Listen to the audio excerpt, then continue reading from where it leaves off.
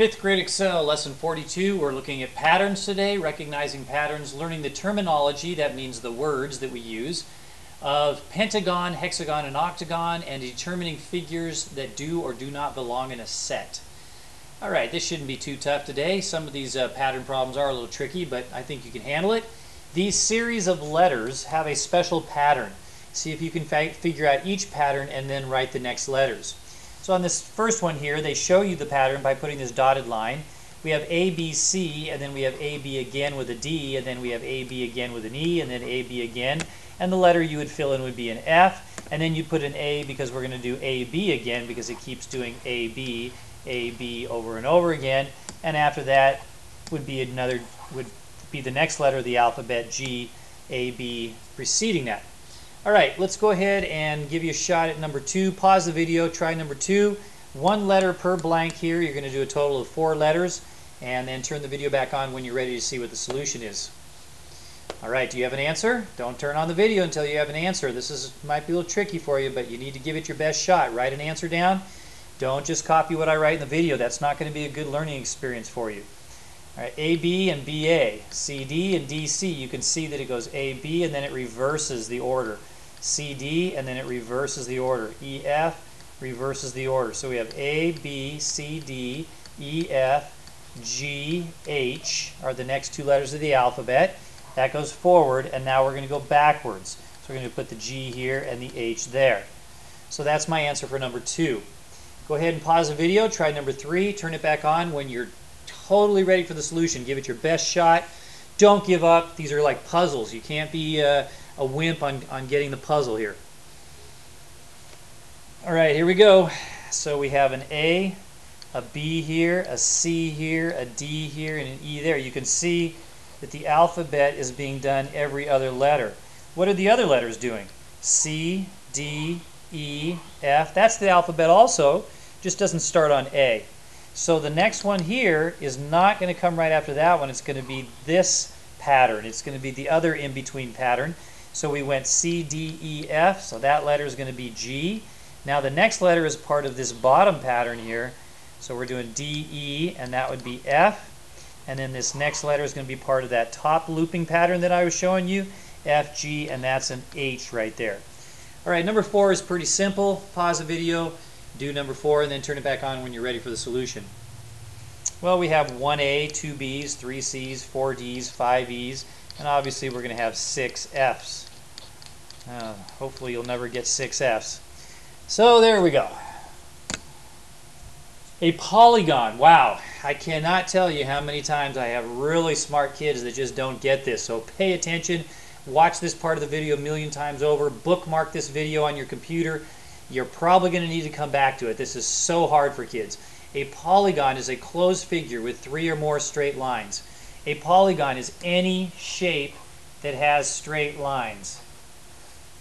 That is a polygon. It, the sides, well, it's not a very good job, but the sides are straight. What I mean by not polygon is something that has a curve on it, like these shapes here. These shapes are closed shapes, but they have curves. So these are not polygons. And these shapes are open. This has straight sides, but we have an opening right here. This has a curved side and it has an opening, straight sides with an opening. So these are not polygons. These are poly not polygons. These are not polygons. These are polygons. Anything with straight sides. Now, come some kids get confused on something like this and they say, that's not a polygon. Look, that side's going crooked. That has nothing to do with it. This, this side is not curvy. There's no curve to it. You can take a ruler and draw that side. So it is a polygon. You can take a ruler and draw this side and that side and that side. Now when you get to problems on your Excel that have a whole bunch of shapes, what I want you to do first is cross out any non-polygons. Okay? Any non-polygons. So you've got this, this uh, problem where it's got all these different shapes. And uh, what you're going to do first when you see is it's going to say polygon down here, blank. It's going to say rectangle, blank. What I want you to do first is find any non-polygons and cross out those shapes. Don't put P all over every one of the polygons. I don't want you to put a P here and a P there and a P. No, no, no, don't do that. Just leave those alone. This is not a polygon, so you're going to cross it out. All the other shapes are polygons. So you just count the rest of those and put that number where it says polygon. Do not write P all over your polygons. All right, here's the reason is because pentagons is what we want to put the P's on. When the when the five sides are the same length and the angles are the same size, it is called a regular pentagon. Regular pentagons are like you can turn them around in a circle and they always look the same. They're not like short and fat or tall and skinny or anything like that. They're just like perfectly shaped. That's a regular pentagon.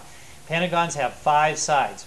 One way that I remember this, it's not a very good way, but the beginning, the, the first part of this word, penta, a lot of the, the shape names have gone. You can see gone, gone, gone. But this first part has five letters, two, three, four, five. Penta has five letters, so it has five sides. One, two, three, four, five.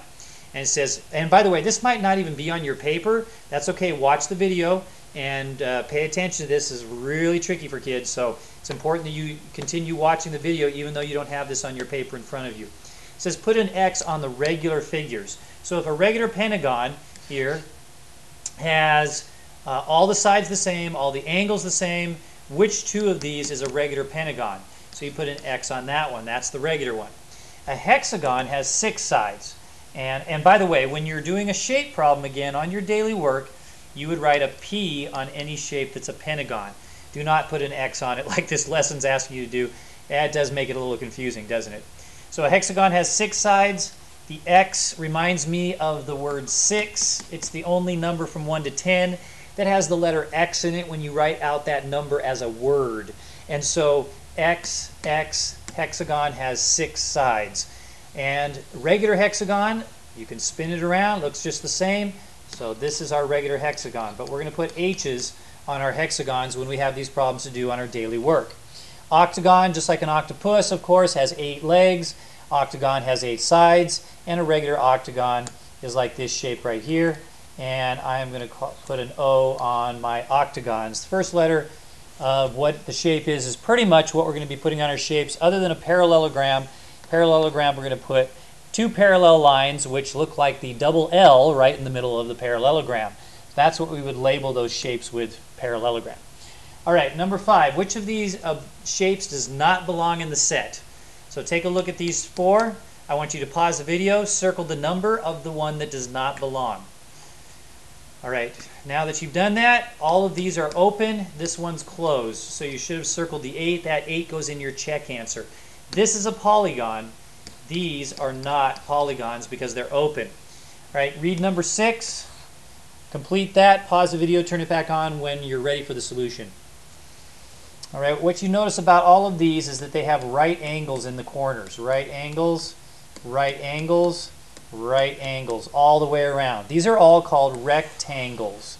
R, let's put R's on our rectangles. Everybody write R's on there to show me that you're paying attention to the video right now. Put an R in each one of those rectangles. This is the shape that some kids get confused on.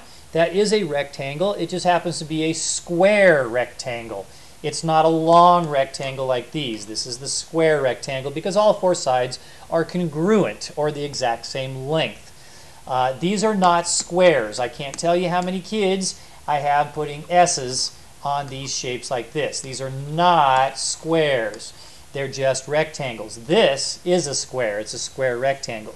So which of these belongs with all the rectangles? Of course, number 6 belongs with the rectangles because that's another rectangle, just like this one is a rectangle right here.